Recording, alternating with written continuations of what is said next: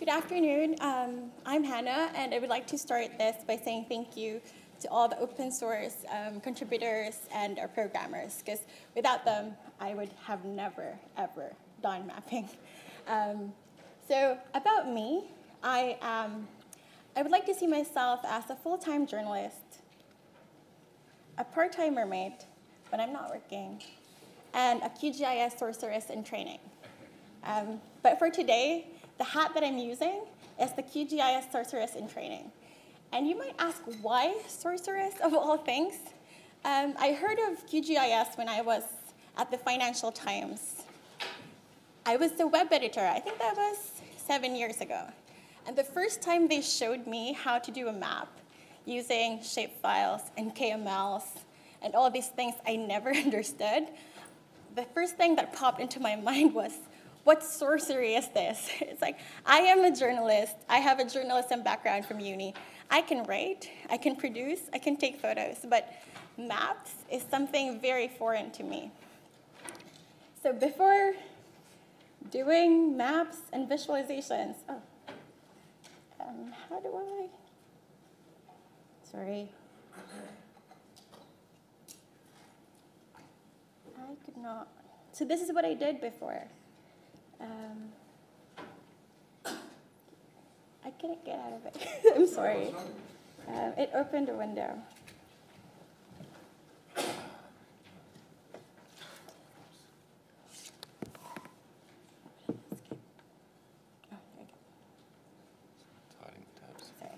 So this is what I did before. I did beat reporting. I would go out, cover stories, um, would be behind the camera, write the script. This was a totally different world for me. Um, but how did I learn it? I was a web editor, and at some point we were asked, who wants to learn graphics? It was just a random question thrown in the newsroom. And being the youngest editor in the newsroom, I was scared that if I did not expand my skills, I'll be the first one out in case they want people out. so I raised my hand, not knowing what, is it, what I was getting myself into. Um, and my mentors were in London. I was Manila, in Manila on Manila time. Um, and I have no idea how I survived that training, but they started sending me links. This is how you learn Illustrator. This is how you learn mapping. And they just threw their name out there. It's like, we're going to use QGIS. And what did my mentor send me? He sent me YouTube links.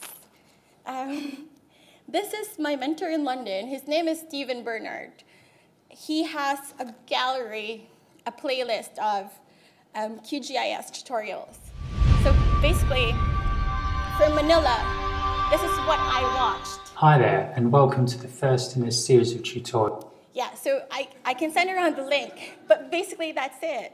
So I would sit in the newsroom, put my earphones on, and look at the YouTube videos and follow what he's trying to tell me. Um, I did that for, let's say, six months before I finally was able to sit down with someone in London who can show me how it's done. Um, it's a little scary, especially if you're coming in without any GIS knowledge. When they would tell me, um, can you give me the coordinates? What the hell are coordinates? I'm sorry, it was the scariest thing ever. Um, and they'd tell you, can you put this in a shapefile? What the hell is a shapefile? I was editing company stories and finance stories, and here they are asking, can you do a locator map of the Paris shootout? What the hell are you trying? I, I had no idea what I got myself into. But that was a challenge that I took head on.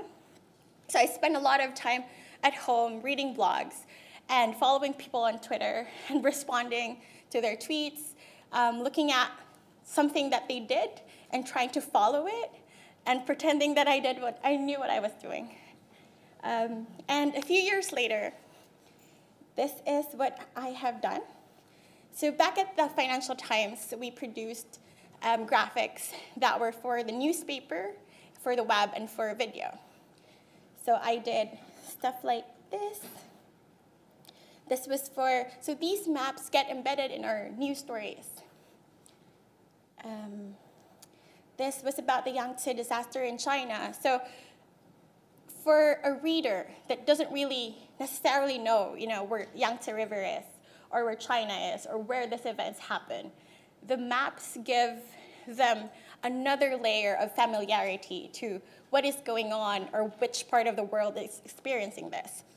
So that's, I think, what's interesting about the merging or the collaboration between visuals, mapping, GIS with words is that it gives your reader another layer of, of familiarity and it's more of he can visualize or she can visualize like who are the people experiencing this or where this is happening in relation to where that person is because i'm pretty sure not everyone knows where north korea is um, there was one story that went out that people in the US were asked, can you put on a map where North Korea was?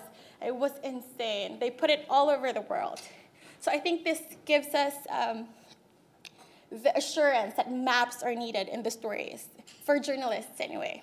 Um, um, so now I work for Bloomberg, and these are some of the maps that I do.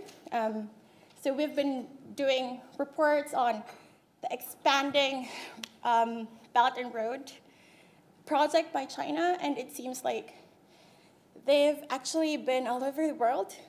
So this shows our readers that you know these are areas where um, these are the countries that signed the Belt and Road agreements, and these are the potential areas that China wants to go to, and these is the, these area is not included. So if I explain that in a paragraph or two or three, it would confuse my readers. But if I showed them, you know, in one map saying, and color code it and say, okay, this is the information I want you to process. And that's a very strong um, way of explaining it without using so many words. So this is showing the railways in India. And we put little locator maps to show that, hey, this is where it is in the whole world because they might not be sure like which part of the world it is. So it just gives them you know a little snapshot of it. And we overlay data on the map as well to show. Um, so this is a company in China that has been expanding worldwide. So we want to show our readers like this is these are the areas they focus on. These are the countries that they are present in, and we show the value in terms of circles. So they can show that the bigger the circle is, the bigger um, money they're bringing into that country. This is the same idea. And we showed um, in this map the routes that the China Air Force and Navy has been using in the South China Sea. Um, and we tracked their, the frequency of their movements and color coded it to show that, you know, in 2016, this is what they used, and this is what, like, which branch used it. So aside from the maps that go into our stories, we build stories that are purely um, data-driven.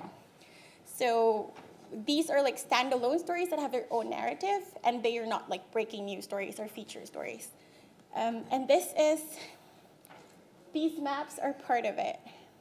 I can't take all the credit for this map because I had a partner in Hong Kong who helped me with the final styling of it. So it's more of me doing QGIS stuff, um, plotting everything that we needed, adding bathymetry, all the reliefs and stuff. And um, we have to style the maps so that it would look well with all our other graphics. So we have three in this story, and I'm going to show you how it looks like on a page. So these are the, the areas that we focused on, and the story looks like this. So this is um, a graphic story that we produce. So we have charts that come with it, and then we have maps so that we don't have to explain everything in the copy and then we introduce the readers to which part of the world this is. And we don't just make maps for the sake of it. We don't usually use bathymetry um, on our maps, but for this, we realize that it's quite important because we're trying to show ship routes. So adding how deep the water is in these areas would be another level of um, information that you're providing to your readers. So basically, we use the map to provide context to our story. Um, yeah. So some stories have only maps, but a lot of our um, data-driven pieces come with both um, charts and maps. So that's what I do on a day-to-day basis. Um, another map that I'm quite pr proud of are the pollution maps that I've been creating. So um, now we've seen, well, actually, we've been seeing China's um, pollution change through the years. It was quite bad at some point, and now they're claiming that it's improving.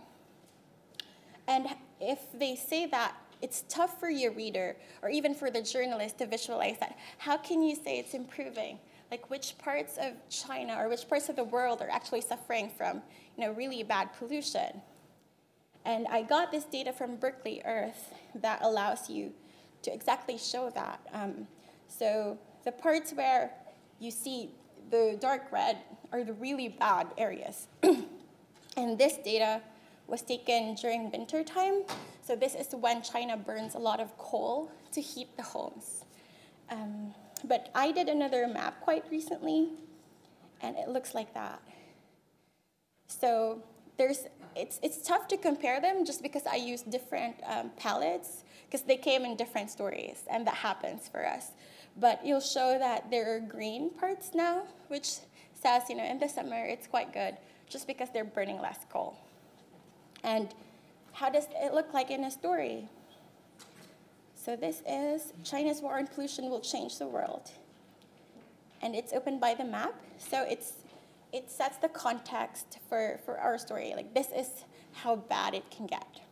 And this is where it is in the world. And then it's followed by, you know, the charts that we visualize. And usually we use like um, one color palette to tie it all together. So this is how I use QGIS in my job and how I feel it is important as a journalist for me to have that skill. Because not a lot, well, I'm not sure how many journalists have transitioned from being, you know, a beat reporter and editor to someone who can actually visualize and do GIS. The learning curve was a bit steep just because I didn't know anything. But um, every time I feel like I've mastered it, like I can do this kind of map in five minutes. Somebody tweets something that's something new. It's like, we added something. We've upgraded. We've, I feel like I could never keep up. But that's a good thing, right? Um, you know, I, I just downloaded the latest version and you know the latest plugin and then somebody comes out i did this relief. And i'm like how dare you? But but i think that keeps it interesting for us and it keeps us learning. Like personally i see that as a challenge and it's a very good um, indicator that the community is growing and we are growing as um, cartographers and experts here or people who pretend to be cartographers uh, or try or try to become cartographers and make it like add value to what we do on a daily basis. Um, for QGIS, I think one major problem, not really major problem, but like a challenge that I've seen is that the bugs that keep on coming up. But I feel like we have um, a community that is very much willing to help you out. So if people are not aware, there's uh, the spatial community on Slack where you can just post your questions and people respond to you very quickly. It's your very own support group, um, which is amazing. And I think another, there are a lot of um, online trainings, but personally it would be great if universities, maybe universities here are doing that, but from where I'm from, we, don't, we didn't really learn QGIS in university. We're, we're not given that chance. So if there were just more trainings, I feel, that are provided for free in communities or groups that are interested, then that would be um, incredible for people who are willing to learn, but have no idea what they're getting themselves into. And that's it for me.